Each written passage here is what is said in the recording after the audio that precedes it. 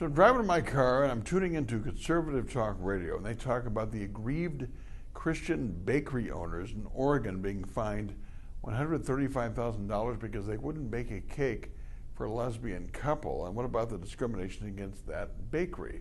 But the context wasn't put in that they had given the contact information to the public about the lesbian couple, address, phone number, which of course led to death threats being levied against the lesbian couple and threats against their foster children. That part was left out of this particular talk radio show's content.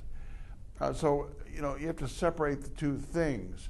Also, the fact that the bakery owners sent 10 cakes to LGBT centers in California with a message, I love you.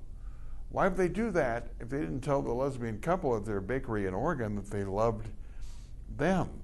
Uh, then, of course, they raised $500,000 from sympathizers in fundraising through the internet. So the judge, who was dealing with a civil case uh, for harassment and emotional damage against the bakery owners for giving out the contact information of the lesbian couple, said, I don't want you to get rich off a civil rights violation, hence the size of the fine.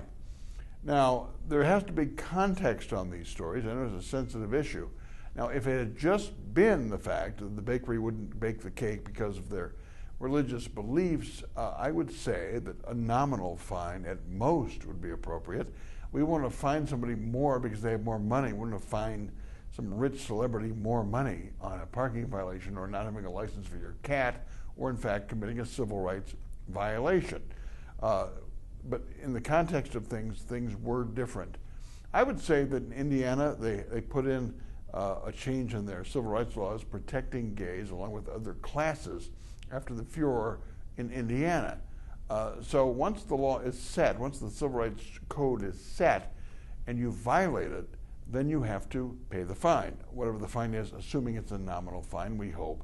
But you can commit an act of civil disobedience if you think you're being wronged and your morality is being violated and your rights as a Christian are being violated. Go ahead and disobey, but you would have to then pay the fine. That's facing the music. Gandhi did that. Rosa Parks did that. Martin Luther King did that. And you should do that too. Those are my two cents. My two minutes are brought to you by Edge Construction and Capital Consultants, a lobbyist who worked for Tommy who gets things done downtown. We can talk about this and other things on the radio tomorrow morning at 8 o'clock on 92.1 FM The Mic, The Mitch Henck Show. Talk to you then.